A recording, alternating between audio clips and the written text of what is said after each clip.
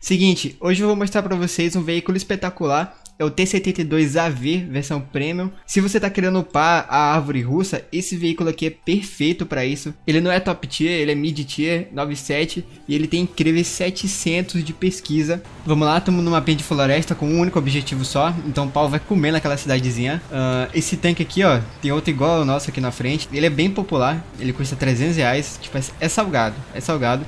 Mas é, tipo, o preço padrão dos veículos desse tier. Agora, para mim, que eu sou mão de vaca, sendo sincero, eu sou mão de vaca, eu passo um ano para desbloquear os veículos de, de top tier, mas eu não gasto 300 reais nesse tanque aqui, velho. Se alguém tem 300 reais pra dar, realmente, vale a pena. Vale a pena demais. Mas eu não, não pagaria. Porque, querendo ou não, se você jogar, jogar, jogar, jogar, você vai chegar no top tier. Você vai, você vai chegar lá no último do último. O problema é que vai demorar muito. Demorar muito mesmo. Tipo, dois anos. Um ano, talvez. E o, o prêmio e o veículo prêmio só faz anteceder isso, tá ligado? Você paga para ter antes, sendo que é uma coisa que você já vai ter, só vai demorar. Agora é um veículo bem bacana esse aqui. E, tipo, a única coisa ruim que eu reparei até agora é que a ré dele é ridícula. Tipo, é ridícula. Parece que o cara mete o pezinho lá embaixo do tanque e sai empurrando, que nem os Flintstones. Porque, tipo, 4 km por hora na ré, velho. É ridículo, é ridículo. E nesse BR a gente já pega os primeiros Abraão. E o Abraão dá, tipo, ré a 40 km por hora, tá ligado? E é uma desvantagem muito grande desses tanques aqui. Agora, se eu não me engano, a visão térmica desse aqui, eu não tô afirmando, eu tô achando que é melhor que o Abrams. Não vou de bocão direto pro objetivo não, mesmo que a gente esteja pegando. Eu vou dar uma rodeada por aqui, ó. Mas tem que tomar cuidado também pra gente não tomar a TGM lá do outro lado da costa. Tô vendo algum motor aqui pela direita, não sei se é aquele ZTZ. Eu vou parar aqui rapidinho só pra mostrar a ré pra vocês, ó. 4 km por hora. Só isso. Se eu precisar me esconder atrás de uma casa, tipo, não existe, tá ligado? E, e dá pra corrigir isso, dava pra corrigir, né? Não precisava ter essa ré. Vou avançar só até aqui, espero meu time avançar junto comigo pra não morrer assim de bocão. Vamos ver se a gente não escuta nada aqui.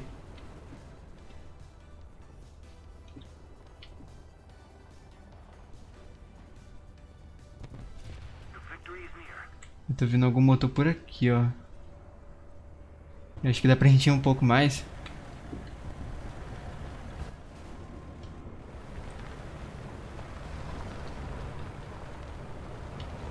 É, agora realmente tem um cara aqui, em algum lugar. Muito alto esse barulho de motor. Vai aparecer aqui, ó. Será que esse espetinho de madeira vai me atrapalhar, velho?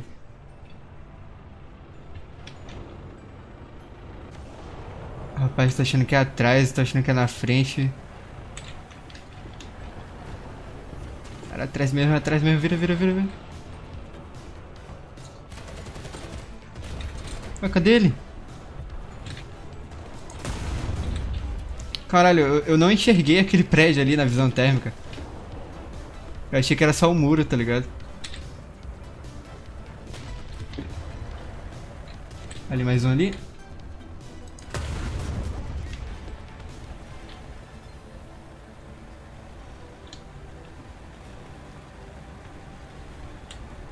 Acho que aqui já tá ótimo.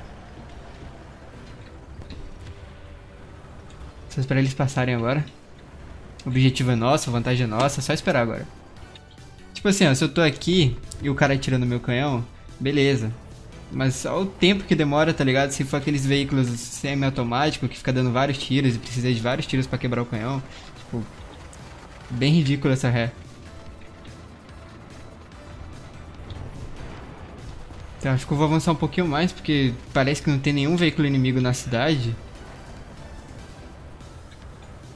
Assim, eu acho que, sinceramente, as opções são poucas.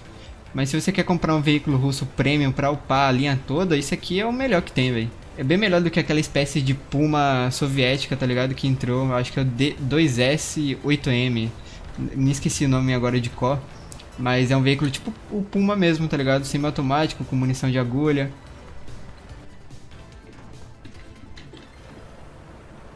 Ó, o cara aqui, ó. Que isso? É, pegou bem na minha culatra. Eu não consigo dar ré, tá vendo? Olha a lerdeza pra dar ré. Vou ter que aguentar aqui até alguém me ajudar.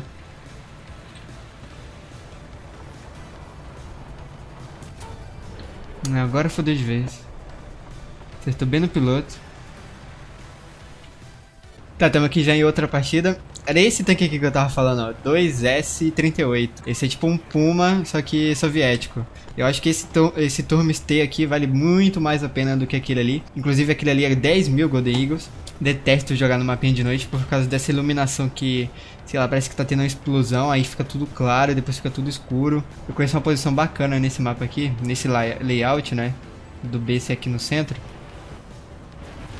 Bem aqui do lado, ó.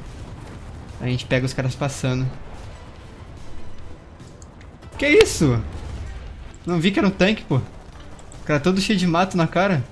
Ele tem autoload, então o tempo de recarga não muda quando a gente tá com menos tripulante, né? A parada é que só ter 3 parece ser uma coisa boa, mas na real é coisa ruim. Porque se eu perder mais um tripulante, meu tanque já para de funcionar. Agora nosso time tem que dar uma fraquejada e aí os caras vão ruxar no B e aí que a gente vai fazer o proveito. Vai ter algum tanque nesse, nesse degrau aqui, ó. É muita coisa, tô ficando até perdido.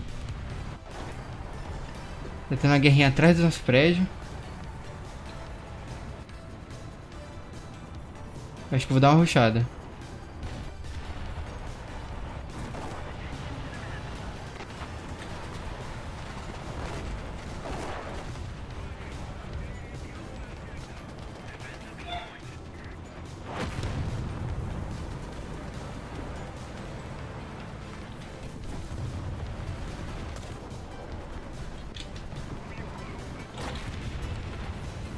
Tem gente atrás desse prédio aqui. Não sei se vai aparecer aqui, se vai ficar aqui mesmo. Tem uma passagenzinha aqui atrás, ó. É, tá aqui atrás mesmo. Não sei se o, o tanque dele passa aí.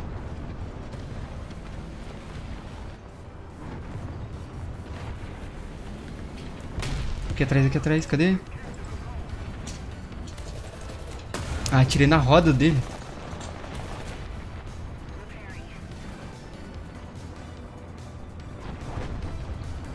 Que isso? Do nada.